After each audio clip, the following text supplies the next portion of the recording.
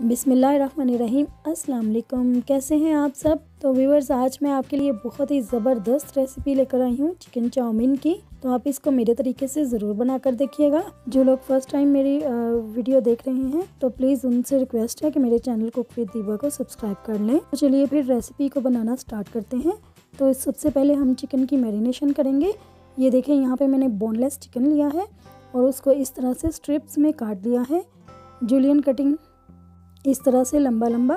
और अब मैं इसको बाउल में निकाल लूँगी सारे चिकन को। चाहे तो क्यूब्स की तरह से भी इसको कट कर सकते हैं, लेकिन जूलियन में कटा हुआ ज़्यादा अच्छा लगेगा। अब मैं इसमें क्वार्टर टी स्पून काली मिर्च पिसी हुई डाल रही हूँ। हाफ़ टी स्पून नमक है मेरे पास। और one table spoon soya sauce और वन टेबलस्पून इसमें ऑयल जाएगा। बस इतने ही इंग्रेडिएंट्स डालकर मैं इसको मिक्स कर लूँगी अच्छी तरह से। और अच्छी तरह से इसको मिक्स करना है ताकि सारे पीसेस में अच्छी तरह से सारी मैरिनेशन लग जाए। अच्छे से और मिक्स कर लेंगे इसको। तो ये मिक्स हो गया अब मैं इसको 15 से 20 मिनट के लिए रेस्ट का टाइम दूँगी और तब तक हम सॉस की प्रिपरेशन कर लेते हैं। तो सॉस तैयार करेंगे। इसके लिए मैंने three by fourth cup ketchup ली है। सॉस हम पहले ही तैयार कर लेंगे ताकि हमारा कुकिंग प्रोसेस में टाइम बच जाए। और one tablespoon soya sauce one tablespoon chilli sauce और वन टीस्पून काली मिर्च पिसी हुई और हाफ़ टी स्पून सफ़ेद मिर्च पिसी हुई। चिली फ्लेक्स इसमें वन टीस्पून जाएँगे। और ब्राउन शुगर यहाँ पे मैंने ली है, यानी कि शक्कर वन टेबल स्पून गर्म मसाला पिसा हुआ half tea spoon half tea spoon इसमें लाल मिर्च पिसी हुई जाएगी और हाफ़ टी स्पून नमक। और अब ये सारी चीज़ों को डाल के मैं अच्छे से मिक्स कर लूँगी। अच्छी तरह से सारे मसाले इसमें मिक्स हो जाएँ। ये देखिए इस तरह से यहाँ पे मिक्स हो गए अब हम नूडल्स को बॉईल कर लेंगे। तो उसके लिए मैं फ्लेम ऑन करूँगी और यहाँ पे मैंने पानी रखा हुआ है बॉईल होने के लिए और उसमें वन टेबल स्पून ऑयल डाल दूँगी और वन टीस्पून नमक डाल दिया है। अब इसको कवर करके मैं बॉईल आने दूँगी। और यहाँ पे मेरे पास नूडल्स का फुल पैकेट है, लेकिन मैं फुल नहीं यूज़ करूँगी, जो कि बहुत ज़्यादा हो जाएँगी। इसीलिए मैं हाफ़ इसको यूज़ करूँगी तो हाफ़ में सेव कर लूँगी। यहाँ पे मैंने हाफ़ पैकेट डाल दिया है। और कुछ लोग नूडल्स को तोड़ कर डालते हैं, जो कि बिल्कुल अच्छे नहीं लगते, और ये इस तरह से बाहर है, या आहिस्ता आहिस्ता से जैसे ही सॉफ्ट होंगे, ये पानी के अंदर चले जाएँगे, और इस तरह से मैं इनको अब मिक्स कर दूँगी, ताकि सारे अच्छी तरह से मिक्स हो जाएँ, और बॉयल भी सही फॉर्म में हो जाए। इसको मैं सात से आठ मिनट तक बॉयल करूँगी। और बीच में एक दो बार इसको हिला भी दूँगी ताकि सारे मिक्स हो जाएँ। और यहाँ पे मैं इसको चेक कर लूँगी। तो ये गल चुके हैं। आठ नौ मिनट हो गए हैं इसको पकते हुए। तो अब मैं इसको स्ट्रेन कर लूँगी इस तरह से स्ट्रेनर में डाल के। मैं इसको ज़्यादा देर बॉईल नहीं करना, वरना ये बहुत ज़्यादा सॉफ्ट हो जाते हैं।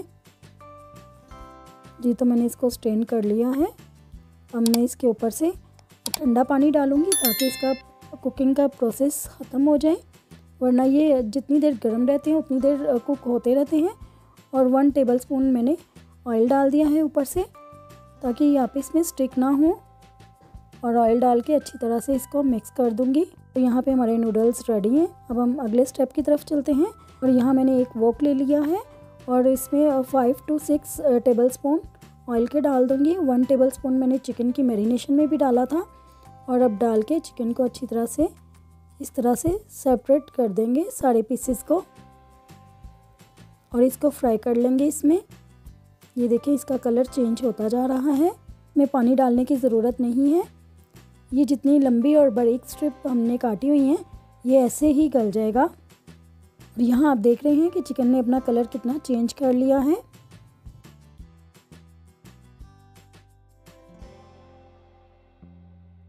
अच्छी तरह से सॉफ्ट हो चुका है। अब मैं इसको निकाल लूँगी एक प्लेट में। इस तरह से मैंने इसको प्लेट में निकाल लिया है। और अब इसी बचे हुए ऑयल को मैं यूज़ करूँगी और इसमें वन टीस्पून मैंने फाइन चॉप किया हुआ लहसुन डाल दिया है। और लहसुन डाल के मैं इसको फ्राई करूँगी अच्छी तरह से। और अब साथ ही मैं अपनी वेजेस डाल दूँगी। तो सबसे पहले उसमें गाजर डालूँगी। ये गाजर को भी मैंने फाइन जूलियन कट किया हुआ है। ये देखिए, इस तरह से लंबा लंबा आपने इसको कटिंग करना है। नूडल्स में इसी तरह की सब्ज़ियाँ लंबी लंबी कटी हुई अच्छी लगती हैं। बहुत ही आसान रेसिपी है। बिगनर्स भी इसको इजीली बना सकते हैं। स्टेप्स को फॉलो करते हुए। कुकिंग में कुछ भी बनाना मुश्किल नहीं होता। और अब यहाँ पे मेरी गाजरें सॉफ्ट हो गई हैं। और साथ ही मैं जूलियन कट की हुई शिमला मिर्च डाल दूँगी और शिमला मिर्च डाल के भी इसको फ्राई कर लेंगे एक दो मिनट के लिए इस तरह से। और फ्लेम को आपने लो टू मीडियम ही रखना है। और साथ ही मैंने अब यहाँ पे बंद गोभी डाल दी है। इसको भी मैंने जूलियन कट किया हुआ है, जैसे कि आप देख सकते हैं। और अब डाल के इनको अच्छी तरह से मिक्स करती जाऊँगी और ये सारी वेजेस हमारी सॉफ्ट हो चुकी हैं। यहाँ पे देखें।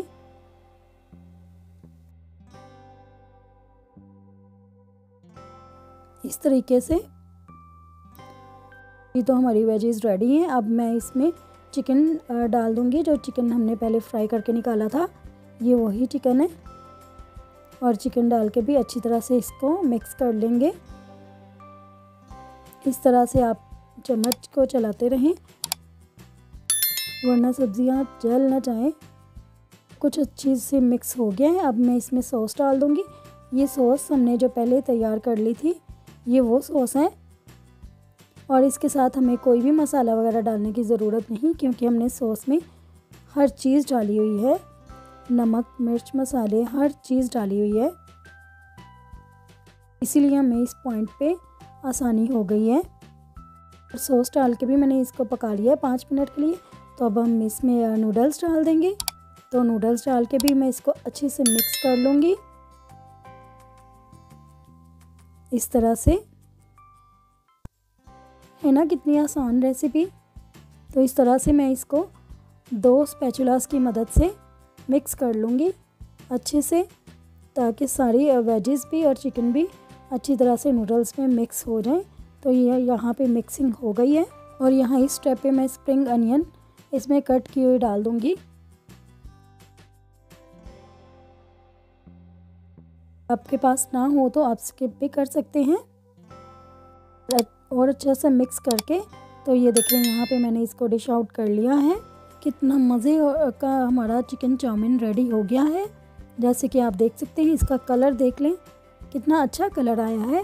और इतना स्पाइसी और फ्लेवरफुल मुझे उम्मीद है कि आपको और आपके घर वालों को बहुत ही पसंद आएगा। अगर आपने मेरे चैनल को सब्सक्राइब नहीं किया तो प्लीज़ मेरे चैनल को सब्सक्राइब कर लें और बेल नोटिफिकेशन को भी ऑल पे क्लिक कर लें ताकि मेरी हर न्यू वीडियो का नोटिफिकेशन आपको सबसे पहले मिल सके।